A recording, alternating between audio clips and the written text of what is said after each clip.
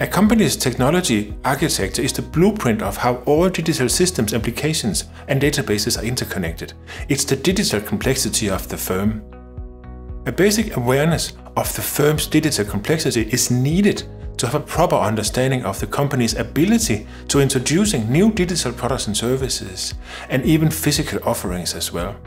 In other words, an unnecessary complex technology architecture limits the company's ability to respond to market changes, and that will have a negative impact of the company's competitiveness. Technology is today as integrated in business operations as spreadsheets are for finance, but while all C-level executives and board members are fluent in spreadsheets, many still lack a basic understanding of the technologies that will make or break their companies in the future. I believe that if you are to run a company, you need to have a basic understanding of all the tools and tricks of the trade in and around the business and industry you're in, which is why I made Frederik's 5, a series of 5 minutes introductions to the digital tools and concepts that matters the most.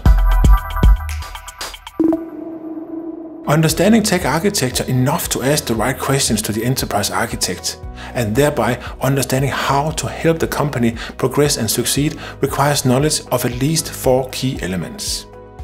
You need to know number of running applications in relation to the company size, the application's interconnectedness, the technical debt that has been built in the company over the years, and the company's ability to easily connect with outside systems of applications. Let me explain. Having an overview of how many different applications are active provides you with an idea of how complex the digital landscape of the company is. As a rule of thumb, the more applications, the more complex landscape and hence the less digital agility of the firm. Now, there is no magic number for how many applications should be active in a given company, but a good way of getting an indication of the complexity is to look at key end-to-end -end processes and analyze how many applications each process require access to. This leads to the second point, your understanding of how interconnected the systems or applications are. The more interconnected, the more complex and again the less digital agility.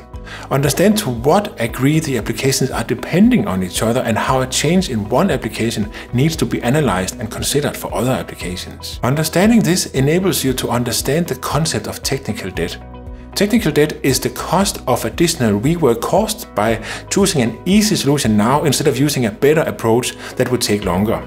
Same as financial debt, if technical debt is not repaid, it accumulates interest, making it harder to implement changes in the future. Put simplistic, the business is forcing the IT development team to complete a change or project fast, and IT cuts corners to deliver on time. Next time, IT needs to take the consequences of the corner cutting into the development effort, known as impact analysis, which will increase the total time of development. Repaying technical debt may seem like an unproductive task, but it will significantly improve the firm's digital agility and enable for faster future developments, and hence increase the company's competitive position.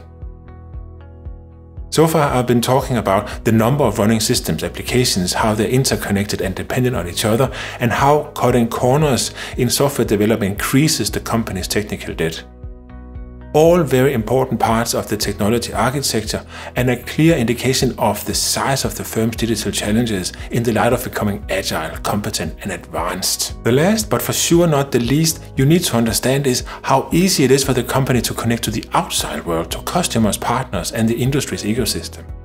I believe personally the future consists of connected companies exchanging information seamlessly to provide customers with the best possible experience and to optimize the firm's internal processes and operations. If the company has many interconnected applications and a high technical debt, the chances of the company being able to connect easily to the outside world are low, and that's an important topic that needs to be addressed.